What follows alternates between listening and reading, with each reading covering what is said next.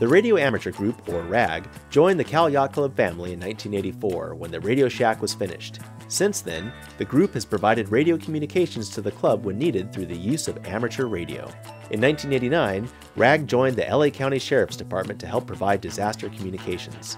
J.J. Quinn and Irma Darling were the group's primary movers in those early days. In 1990, RAG began providing communications to the club's racing activities. Ham operators participate to facilitate accurate and safe communications during racing season. In 2004, RAG installed its WinLink amateur station. WinLink provides communication to cruisers who want to use email through the internet while cruising at no charge. A key RAG event is Field Day, which occurs on the fourth Saturday in June. During Field Day, amateurs communicate off the power grid to ensure emergency equipment is operational.